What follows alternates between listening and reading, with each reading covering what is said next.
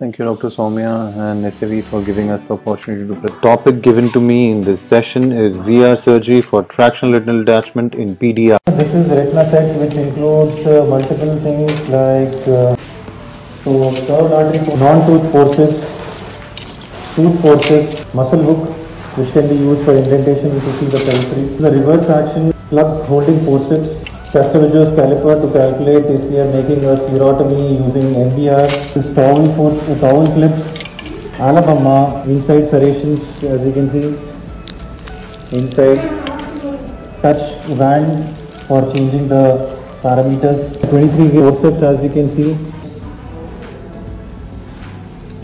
these are scissors which have a little curve at the tip very little curve this is a cautery wire where we can attach the cautery probe endocautery probe this is 25 gauge and then there is a foot paddle to activate it other important things are infusion. As you can see, the infusion what we are using is a gravity assisted infusion. It can be a machine assisted infusion also.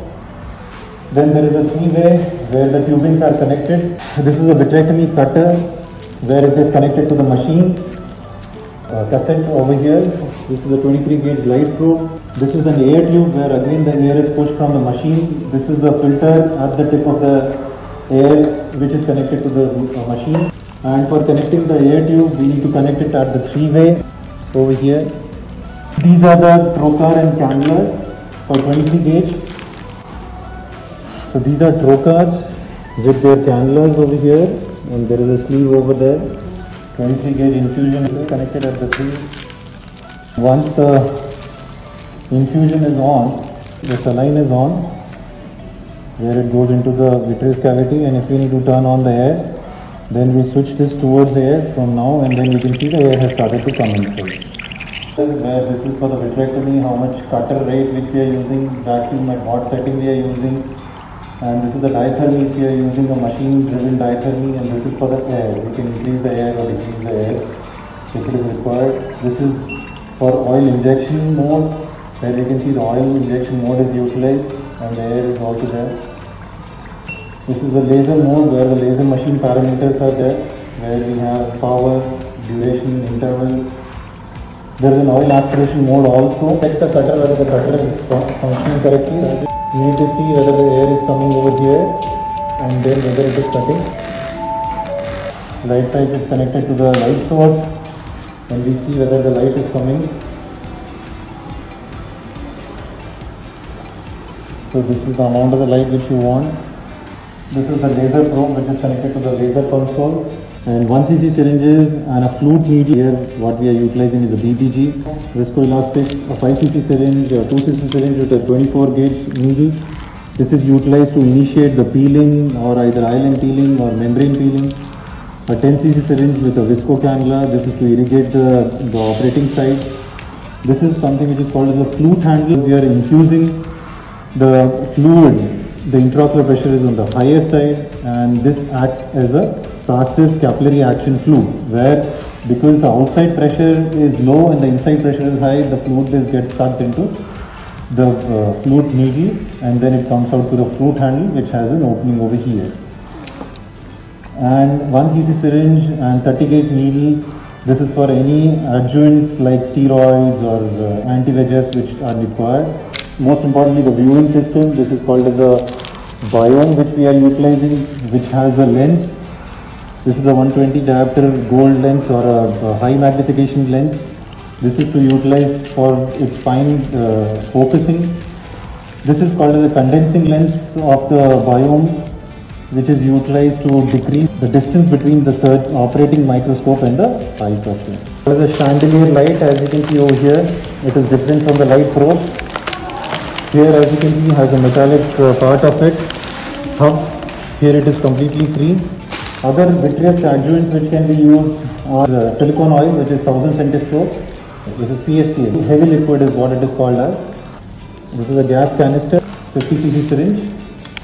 It should be utilized like this where a filter is there and this is and then we tighten it and somebody pushes it and you can see this going back. So this is where the gas has come up. This is an exact area where the gas has come up. Then you remove the gas filter and then you suck in sterile air to dilute it till 50 and this is what our dilution is for 12% of the gas and now you connect to this to a 30 gauge needle. Select cases of diabetic TRD may require belt buckle. The case is started with placing the infusion first in the inferotemporal quadrant and after confirmation that the cannula is seen in the vitreous cavity, the infusion is switched on. Using valve cannulas are associated with lesser risk of vitreous incarceration at the port side. Superior 25 gauge chandelier light is placed, anterior and core vitrectomy is done, multiple areas of proliferations are noted, and best point of attack is identified. In this case, inside out technique is planned and starting at the macula. A 24 gauge needle is utilized for identifying the posterior hyaloid. And end grasping forceps are utilized to mechanically peel the posterior hyaloid from the disc. Peripheral vitrectomy is completed.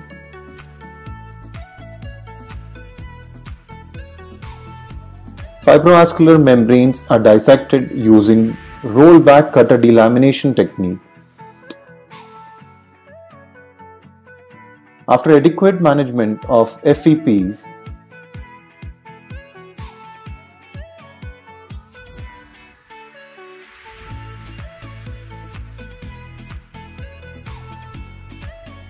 site of excessive bleeding can be identified and cauterized.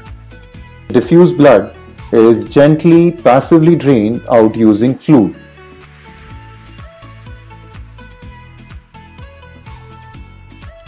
In this case, we had utilized endo-laser photocoagulation for managing surface bleeders. Needle is again used to initiate the flap of ILM for peeling and the peeling is completed using an end grasping forceps. After adequate hemostasis, endolaser is done. Using the muscle hook to indent the peripheral sclera to identify any peripheral break.